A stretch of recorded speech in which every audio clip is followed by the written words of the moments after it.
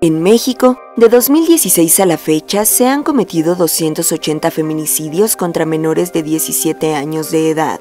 Crímenes que van en aumento al grado que 2019 se perfila como uno de los años más violentos para niñas y adolescentes del país.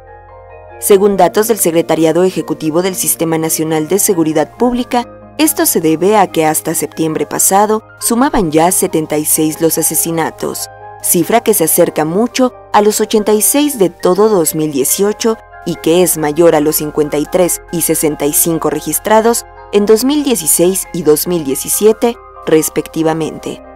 De acuerdo con una publicación del Centro de Estudios para el Logro de la Igualdad de Género de la Cámara de Diputados, el feminicidio infantil es una subcategoría del feminicidio íntimo, aquel que ocurre en el hogar y es perpetrado por padres, hermanos, tíos o algún otro familiar y en menor medida por las madres.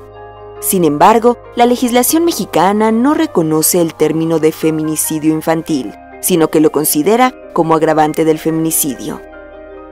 De acuerdo con el dossier Niñas, Niños y Adolescentes, el perpetrador se aprovecha de la condición de vulnerabilidad de la niñez para llevar al límite el ejercicio de poder.